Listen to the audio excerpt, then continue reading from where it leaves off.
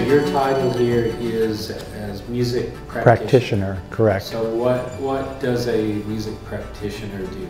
Okay.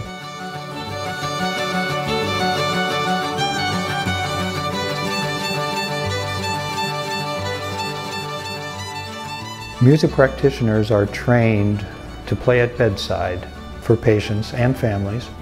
Normally soft, relaxing music that is designed to relieve anxiety, stress, lift spirits.